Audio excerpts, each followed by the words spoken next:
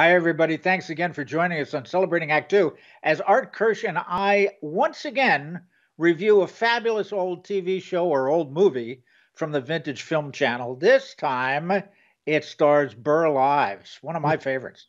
Yeah, it was. I I thought this was actually uh, really terrific, and I don't remember from its original showings. At uh, when was it, John? Uh, uh, the What? sixties sometime. 1965, I think. 65, 66. One So it only season. aired. Yeah, but it, I was but going to say, your turn. yeah, it was it was great. The acting with here, Burl Ives. I mean, what's not to like about Burl Ives? Everybody loved him. He was a great singer. We all know that. Uh, uh, Yep. This wonderful voice, uh, but he was a terrific actor. And I know I've seen him in other things, but uh, even every single uh, cast member, and most of them were there for the entire 17 or 20 episodes, whatever it was. Uh, it was uh, him and uh, this guy who you see on the screen was a Harvard trained tutor. He was a, uh, a self made billionaire. They called him a billionaire, referred to him as a billionaire. Uh, Before uh, I- anybody knew what a billion was really worth. Huh? Right. A billion here, a billion there. It all started with Burl Ives. Uh, but he's got this wonderful voice. He's got this wonderful presence. And the characters were, even for a sitcom, uh, uh, well acted, believable, uh, It's- not, it's not very well- annoying. Y- You know, Art, this is one of those classic television cases where they build a show. They got a famous character, famous actor, really, and they build a show around him. Hey, well, everybody likes Burl Ives. Let's give him a show, you know, that kind of thing.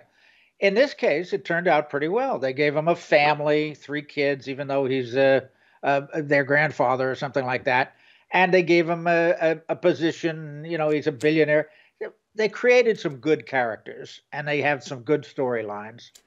Uh, I'm sorry that this show didn't last more than a season. I- I, I think it could have done very well. I agree. And it was written uh, by uh, Abe, Abe Burrows and some other uh, f- famous guy that I sort of remember the name. who Famous, really com- famous comedy writers. Yeah. They- They yeah. were absolutely first rate. And, you know, I don't know whether the politics of it all or what it was or who knows what, why it didn't make another season. I, I wasn't able to research that. Uh, Yeah. But all these actors and the production value was at a high enough level that the stuff looked real. It didn't look like a set. So they literally, it was a well done production. It just Yeah, stunning that very they nice. didn't make it. Yeah. For me, it's all about Burl Ives. Yes, All right. I'm a big Burl Ives fan. Burl Ives was a very successful musician, uh, really a folk singer. He was very big, very popular during the folk singing days. Mm. Uh, he had, I don't know, three or four number one hits. Skip ahead a in the bit. yeah. on the pop charts. He he had the hit for Rudolph the Rain- Red-Nosed Reindeer, which I think was written by Gene Autry, but he had the hit. He Mhm. had the cover hit. Um, he did a famous song called "Little Bitty Tear." Let me down. Is that right? Little bitty tear, let me down. Great song. He did uh, "Foggy Foggy Dew," which is again kind of a slow. And by the way, I know that, I know that Burl Ives is not your best uh, uh, gimmick that you you do. You good languages and everything, but give us a little Burl Ives. I don't. Burl Ives. I can't do that. He had a wonderful gravelly voice, and besides being a very uh, uh, popular, successful musician, he was a great actor. He did, and he he never changed. You, you know, you see that little string tie and that look. That's Burl Ives. That's the way he looked as a musician. That's the way he looked as an actor. People hired him f- to be Burl Ives, essentially. He won an Academy Award in 1959 for, I think, don't quote me on this, Big Country. Mm. And um, uh, he was uh, uh, Best Supporting Actor in that movie. So he was in movies, he was in television. Made a lot of sense to give him a TV show. I, I just don't know why it only lasted one season. So anyway, we don't have to ruin anything uh, by giving you uh, any of the plot points. It's it's actually go see it. You'll enjoy this, and if you haven't been to Vintage Film Channel before, this is a good reason to go. Okay, Crackerby, and Yep. watch it.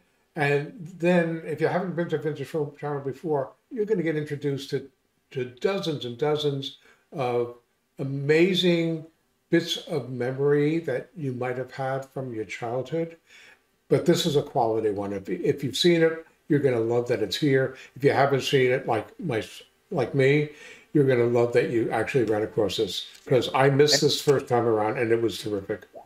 Yeah, be sure to write in the comments when you visit the Vintage Film Channel that it was recommended by two old guys.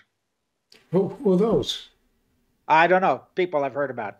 Ah. Anyway, see you guys soon. Vintage Film Channel on YouTube, vintagefilmchannel.com. We'll see you soon.